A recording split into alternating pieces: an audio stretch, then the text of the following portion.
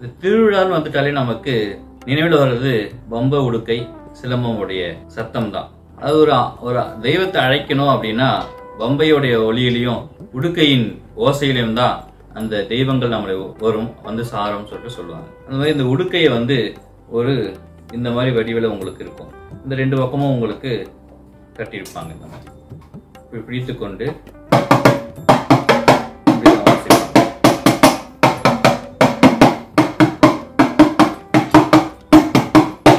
இது வந்து உங்களுக்கு இந்த மாதிரி ஃபைபர்லயும் கிடைக்கும் தோலிலையும் கிடைக்கும் நம்ம கிட்ட இந்த உடுக்கை ஒளியில இருந்து தான் இந்த பிரபஞ்சத்தை படைச்சாங்க அப்படின்னு சொல்லிட்டு சொல்லுவாங்க ஆதி காலத்துல ஆதி காலத்துல இந்த உடுக்கையின் ஓசையில இருந்து தான் பிரபஞ்சத்தை படைச்சாங்க அப்படின்ட்டு புராணங்கள் நிறைய சொல்லுது.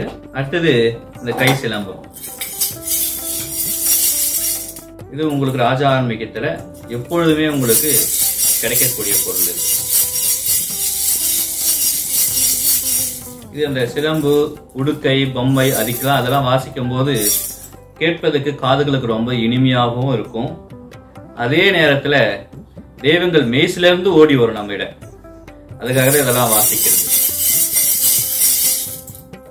அதுக்கடுத்தது பொம்பை பொம்- உங்களுக்கு லுங்காரம் சொல்லிட்டு இந்த மாதிரி இருக்கும் உங்களுக்கு. அதுல ரெண்டு இதாக வரும். லுங்காரம் ரெண்டு இதாக வரும்.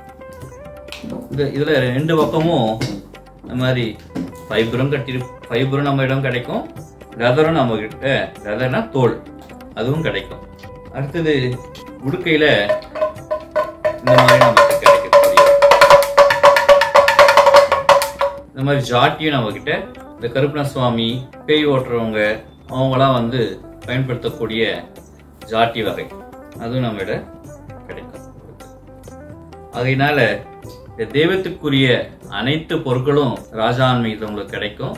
எல்லாமே உங்களுக்கு டிஸ்கிரிப்ஷன்ல கொடுத்துருக்கோம் உங்களுக்கு. அனைத்தையுமே வாங்கி மகிழவும். நன்றி வணக்கம்.